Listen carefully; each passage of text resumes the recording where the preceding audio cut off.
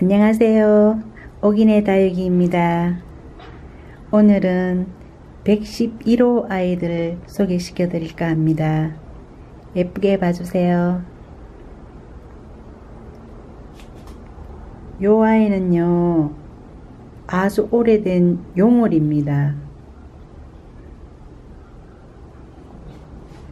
이 화분에서 한 5년 넘은 것 같은데 제가 분갈이를 못 해줬어요. 좀 제가 큰 화분을 선호 안 하는 이유가 분갈이 할 때 좀 힘들거든요.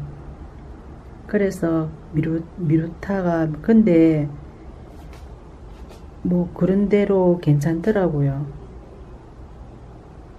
원래는 애 이 줄기가 많이 내려왔었어요.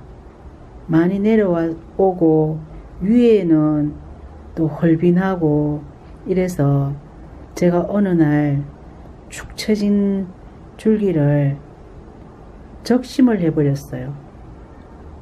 여기 보이시죠? 적심한 자리. 적심했는 자리에 혹시 이제 그 자구들이 좀 많이 올라오지 않을까 생각해서 그날 제가 미쳤었나 봐요. 댕강댕강 잘라버렸거든요. 이쪽 돌아가면서. 자구들이 하나, 둘 나오긴 나, 나왔었어요. 이렇게. 나왔는데, 제가 생각하는 만큼 다닥다닥 자구들이 나오지는 않더라고요. 그래서, 아, 적심을 잘못했다 후회를 했죠. 그래서 안 되겠다 싶어서 잎꽂이를 위 화분에다가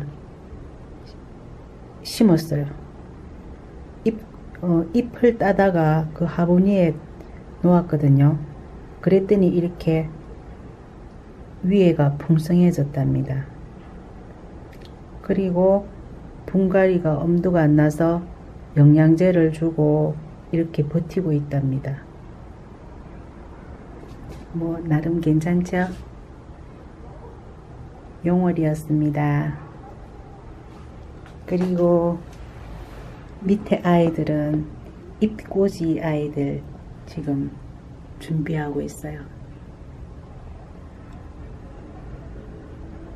종류가 여러 가지 많아요. 밑에도